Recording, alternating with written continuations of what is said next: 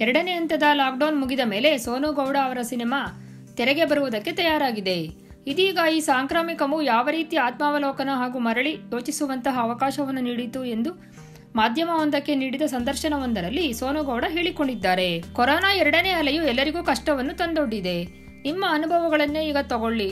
ಮೊದಲನೇ ಅಲೆಯಲ್ಲಿ ನಾವು ಮೊದಲೇ ಒತ್ತಡಕ್ಕೆ ಸಿಲುಕಿದ್ವಿ. ಎರಡನೇ ಅಲೆಯೂ ಸಹ ಇನ್ನೂ ಹೆಚ್ಚು ಆಘಾತವನ್ನುಂಟು ಮಾಡಿತ್ತು ಸಂಪನ್ಮೂಲಗಳ ಕೊರತೆ ಇತ್ತು. ಮರಣ ಪ್ರಮಾಣ ಕೂಡ ಹೆಚ್ಚಾಗಿ ಇತ್ತು. ನಮ್ಮನ್ನೆಲ್ಲ ವೈಯಕ್ತಿಕವಾಗಿ ಇದು ತುಂಬಾನೇ ಕಷ್ಟಕ್ಕೀಡು ಮಾಡಿದೆ. ಪ್ರತಿ ಬಾರಿ ವಾರ್ತೆಗಳನ್ನು ನೋಡಿದಾಗಲೂ ತುಂಬಾನೇ ಭಯವಾಗ್ತಿತ್ತು. ಅದರಲ್ಲೂ ನನ್ನ ಪ್ರೀತಿ ಪಾತ್ರರನ್ನು ಎಲ್ಲಿ ಕಳೆದುಕೊಂಡು ಬಿಡ್ತೀನೋ ಎನ್ನುವ ಹೆದರಿಕೆ ನನ್ನಲ್ಲಿತ್ತು. ಈ ಬಾರಿ ಬಹುಶಃ ಎಲ್ಲ ಮನೆಗಳಲ್ಲೂ ಸೋಂಕು ತಗುಲಿತ್ತು. ನನ್ನ ಫ್ರೆಂಡ್ ಅನ್ನು ಕಳಕೊಂಡೆ. ಅದು ತುಂಬಾನೇ ಬೇಸರದ ಸನ್ನಿವೇಶವಾಗಿತ್ತು ಎಂದು ಹೇಳಿದ್ದಾರೆ ಸೋನುಗೌಡ. ರಟನೆಗೆ ಬಂದ ನಂತರ ಮನೆ ಹಾಗೂ ಅಡುಗೆ ಕೆಲಸವನ್ನು ನಾನು ಮುಟ್ಟಿಗೆ ಇರಲಿಲ್ಲ.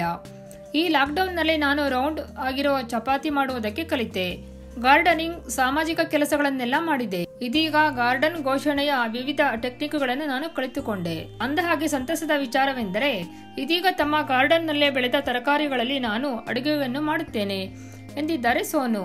ನಾನು ಸಿನಿಮಾವನ್ನು ಬೇರೆಯದೇ ರೀತಿಯಲ್ಲಿ ಅವಲೋಕಿಸತೊಡಗಿದೆ. ನಾನು ಇಂಡಸ್ಟ್ರಿಗೆ ಪ್ರತಿಯಾಗಿ ಏನಾದರೂ ನೀಡಬೇಕು, ಲೋ ಬಜೆಟ್ ಕಂಟೆಂಟ್ಗಳ ಮೂಲಕ ಅನಿಸಿತು.